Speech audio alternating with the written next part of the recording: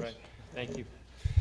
We now welcome our third place finisher in today's Hollywood Casino 400 here at Kansas Speedway, Jeff Gordon, driver of the number 24 Ex- Axalta Chevrolet, currently fourth in points, only 32 points now behind Matt Kenseth. Jeff, talk a little bit about your run out there today here. Yeah, it was a, it was a great day. Uh, obviously, a great finish for us. Um, you know, we, uh, we, we had a, what I thought a tire issue early in the race, and I made a big mistake. By the car got real, real tight on me, and and I came down pit road, and probably probably jumped the gun. And it was should have waited maybe a lap or two uh, longer because we got caught under the caution uh, after we made that stop. So we were playing, you know, catch up the rest of the day. We had a, uh, the nice thing was I knew we had a good race car. Um, you know, we, we came in and had four tires in the back and, and drove all the way up to I think around 10th or possibly better. And so I knew we had a good race car. That gave me confidence. And um, you know, then then it was just all about trying to get the strategy right. And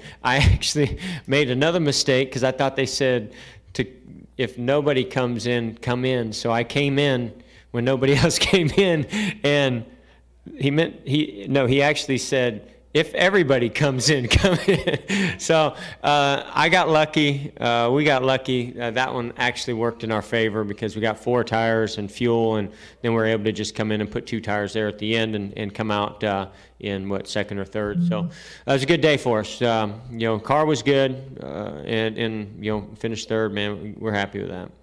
Okay, we'll take questions for Jeff. Please raise your hand. We'll get a mic to you.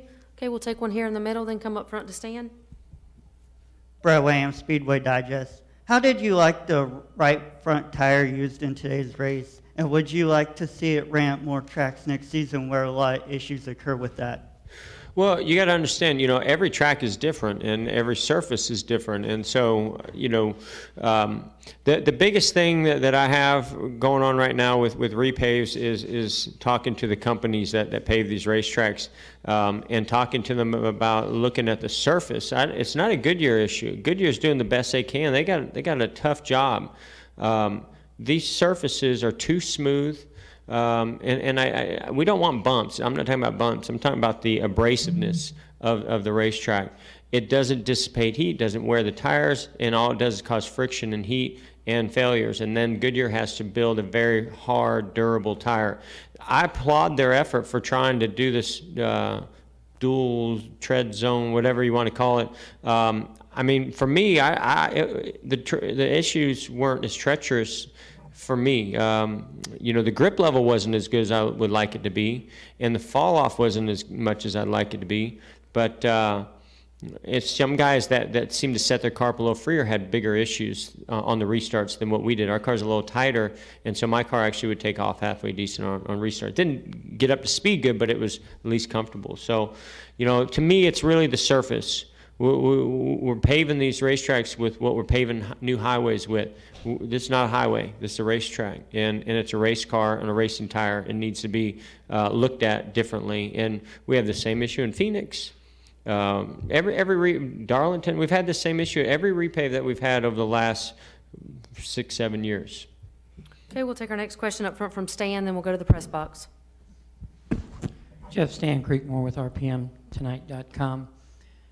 And I'll say this carefully. You always do, Stan. I appreciate it. I'm listening.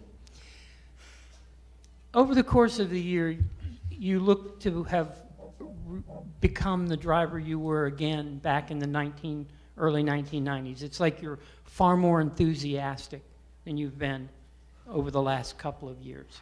And, and today's effort seemed amazing as well.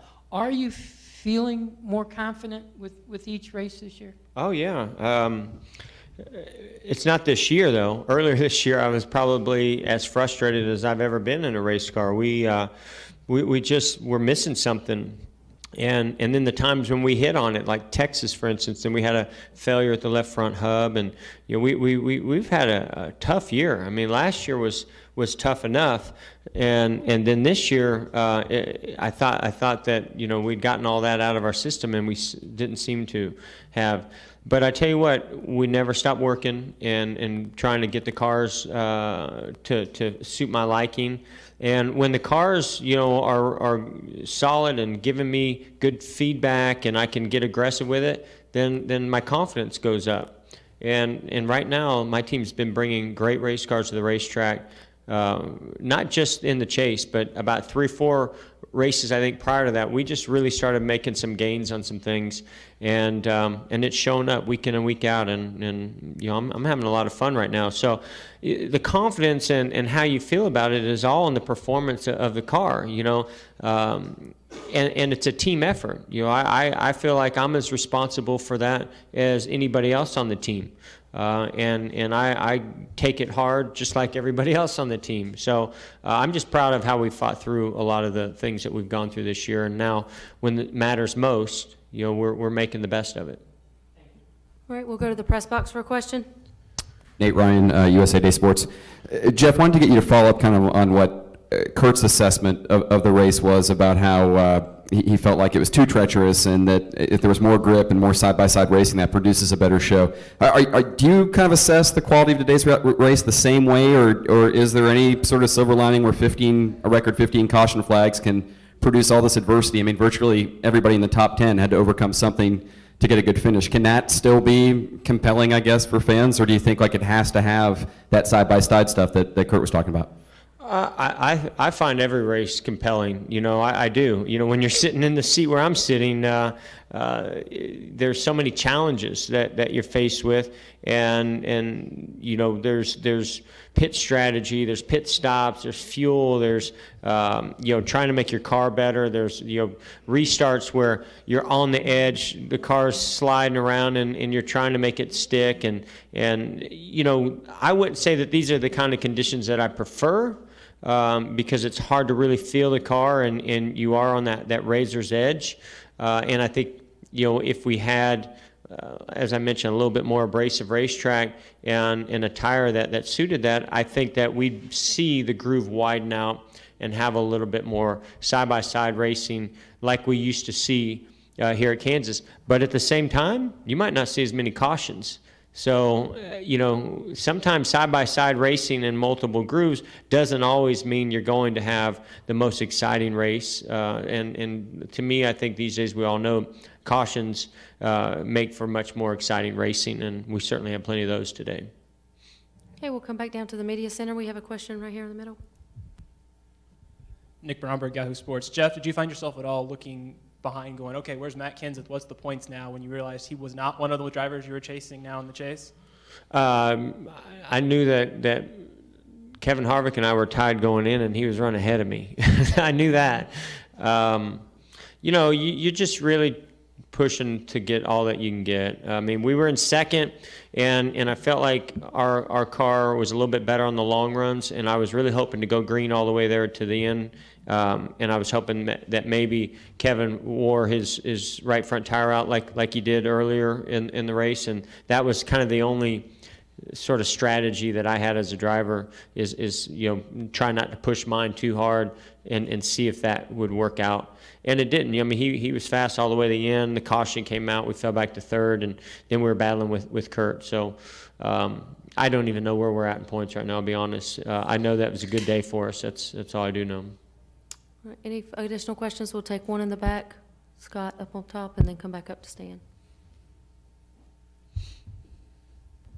Jeff, I guess you guys are okay, but could you take us through that sequence of events with you and Kurt? And another follow-up question, can you tell me what percentage you guys were running throughout the race up till that last 20? Was it 80%, 75?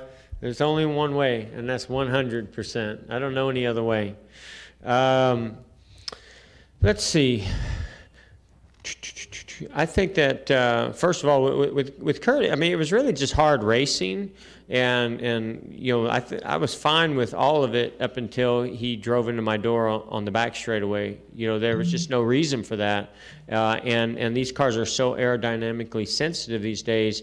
Every little thing like that makes a difference. And my when he did that, my car all of a sudden just started pushing really really bad and luckily we got to fix it on, on the next couple pit stops. And I just wanted to let him know my side of what I saw, you know, and and hear his side as well. I, I wasn't trying to get in a fight or anything, uh, but we kind of agreed to disagree. And and Kurt and I get along fine. Uh, and I just wanted him to know that you know have a better reason than that to run into the side of my car. Okay, I think we have one up front with Stan. You're not worried, are you? Charlotte. Worried about you, Stan? Never. Charlotte, mile and a half. Kansas today, mile and a half. How different, though, is the challenge going to be next week versus this week? Well, I mean, th- to me, this is the track that one of the tracks I was, uh, you know, really worried about. Um, you know, and again, it's the repave. You know, when when when they repaved this track, it just didn't suit my style, and we really struggled. And um, you know, I mean, I spun out qualifying here. You know, so to to come out of here with a, a third place finish, boy, I, I'm excited because we ran really good at Charlotte uh, earlier this year, and I think our mile and a half program has uh, gotten so much better since then. So you know, the big challenge is qualifying. We got to we got to qualify strong at Charlotte. Uh, and and I know we're going to race good there, so I, I'm looking forward to next week. Final questions for Jeff? Jeff, you are fourth in point standings, 32 points back from Matt. Thank you. Any other questions? Thank you very much. Good, congratulations on your run today.